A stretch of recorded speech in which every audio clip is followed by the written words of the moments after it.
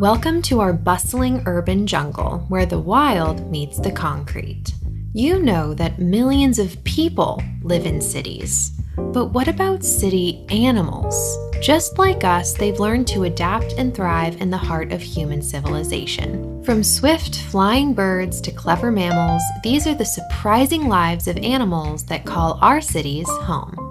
Want a souvenir of our journey? Check out our fact filled activity sheets for sale now in the Socratica Foundation store. Find the links below. Pigeons are gray birds commonly found pecking the ground in the city. You can also see them sitting on statues. You might think they're dull, but look again. Some of their feathers can look purple or even green in the sunlight. Pigeons are really smart. They can recognize themselves in mirrors and have an excellent sense of direction.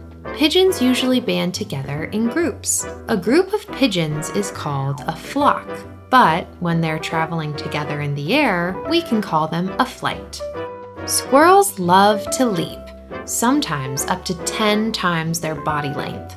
These energetic rodents have unmistakable bushy tails. Their tails are helpful in many ways, including as protection from the elements, like a built-in umbrella, and even keeping them balanced. Here's a special talent. Squirrels are able to make their way down a tree head first because they can rotate their hind feet to keep a good grip on tree trunks. They bury nuts in the ground for later. Can they really remember where they've hidden them all? What do you think? If you thought the squirrel's tail was impressive, raccoons must win a prize. So stripy. They also look like they're wearing a mask over their eyes. These easy to recognize markings earn raccoons the nickname the ring-tailed bandit. They're also thought of as bandits because they're good at stealing. Raccoons have very sensitive five-fingered paws that they use to open things like garbage cans. Raccoons love to explore the city at night when it's quiet. And when they find something good, raccoons are also known to wash their food before eating. So civilized. House sparrows are small brown and gray birds that love to hop around in trees and bushes. These birds usually live between two and five years in the wild, although when raised in captivity, they can live up to 14 years. Raised in captivity means an animal is raised by humans in a cage or small area. For example, animals at the zoo are considered to be raised in captivity. House sparrows can live much longer in captivity because they aren't getting hunted by other animals. We can help the wild sparrows by filling bird feeders with seeds they like to eat. House sparrows also take dust baths, which might sound a little dirty, but it actually helps keep their feathers healthy and clean. Meet the possum, the only marsupial found in North America. Marsupials are a special kind of mammal that give birth to live young that mothers usually carry around in a pouch on their belly. Possums have a long, hairless tail and a pointy snout, but the real jaw dropper, they have a set of 50 teeth. You want to hear something else impressive? Possums sometimes fake their own deaths. When being hunted by a dangerous predator, they will pretend to be dead and trick predators. They have been known to do this for up to four hours. Wow.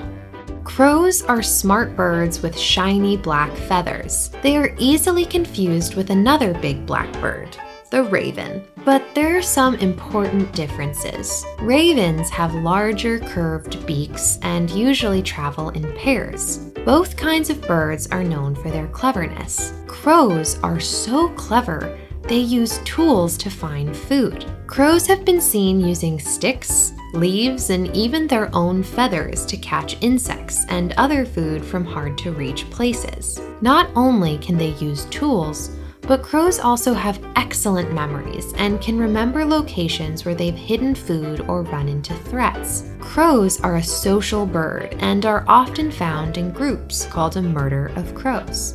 In the hustle and bustle of the city, you might spot stray dogs, which are dogs that don't have a home or owner. These city animals come in all shapes and sizes, from tiny terriers to big mutts. Stray dogs are known for traveling in groups. This is because they can help each other find food and safety.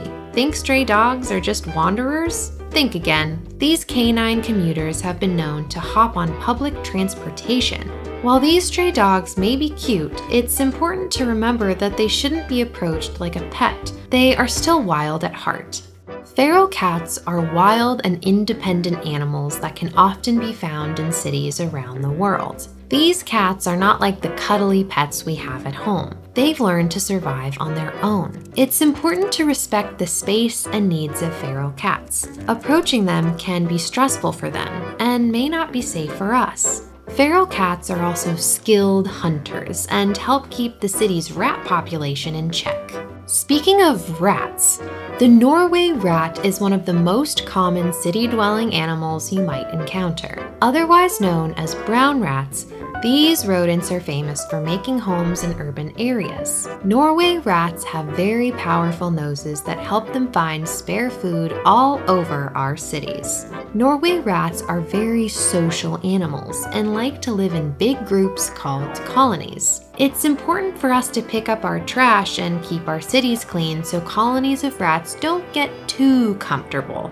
Next up, we have the mouse. These little guys are similar to rats, but they have their differences too. Mice are usually smaller, have shorter tails, and have larger ears. Mice are known for having lots of babies. Mice babies are called pups. A female mouse can have anywhere from 40 to 60 pups in her lifetime. Holy cow! Mice are very curious animals and like to explore new environments. Meet the European starling, a charming little bird that you can find all over the world. These birds might not look very exciting at first, but they're actually quite talented birds. European starlings can recreate bird calls of other birds and even more random sounds like flowing water or rattling. These birds are social and can usually be found in large groups flying around the sky. They even fly in cool patterns, which often look like shape-shifting clouds. This special flight pattern is called murmuration. Wow, impressive. Another bird you might recognize in the city is the Canada goose. It's not uncommon to find these large birds around city parks, ponds, and golf courses. Canada geese have black necks and heads and brown bodies. The Canada goose is a loud bird, and their famous honking sounds are hard to miss. What's truly amazing is these birds are also excellent flyers. They can fly for thousands of miles in order to escape cold winter weather and have some fun in the sun. Here's a bird that's hard to miss, the mallard duck. This quacking bird comes in two colors. Males have vibrant green heads and females have slick brown heads. These ducks love to float on water's surface in ponds and creeks. Did you know that these birds get most of their food by tipping forward in the water to catch plants and bugs? The mallard duck is more than just a swimmer. You can find them flying high in the sky in a very cool V-shaped formation. Want to remember the special colors of the mallard duck? Get out your colored pencils and markers and capture all these city animals in our coloring pages. Follow the links below for our activity pages that keep the smart fun going after the video. But we're not finished yet. Look, here's another city animal. Better known as seagulls, gulls are white birds often spotted in coastal cities. But did you know they can thrive far from the sea too? Gulls are like a city's cleanup crew because they love to snack on scraps and leftover food in our cities. Gulls are really good flyers. Guess what? They can fly for hours without flapping their wings a single time. This is called gliding. Want to hear something else impressive? Gulls can live up to 20 years. So, the next time you see a gull, remember, it could be quite a bit older than you. Last, but certainly not least, we have the American robin. These birds have a bright red chest, making them easy to spot in many cities. These birds are wonderful foragers, which means they hunt and collect their food. They eat all sorts of things, including insects, worms, and berries. The American robin is also an excellent singer. They use their songs to communicate with each other and protect their homes. Keep an eye out for these colorful flyers because they bring both color and song to our cities. You might have noticed this little animal scurrying around then diving out of sight. It's the cockroach. Mr. Cockroach here will appear in his own video soon, all about the bugs that live in the city with us. Can you think of some city bugs? Stay tuned. So there you have it an amazing animal adventure through the urban jungle. Remember, even in the heart of the city, we share our environment with these incredible creatures. So, the next time you spot a city animal on your way to school or in your local park, take a moment to appreciate the wonders of urban wildlife right in our own backyard. Now it's time to watch another great video from Socratica Kids. You get to pick. And don't forget, check out our coloring pages and activity sheets made just for you linked below. Did you know that these videos are made possible by our donors? The Socratica Foundation is committed to making free educational resources for kids. Donate today.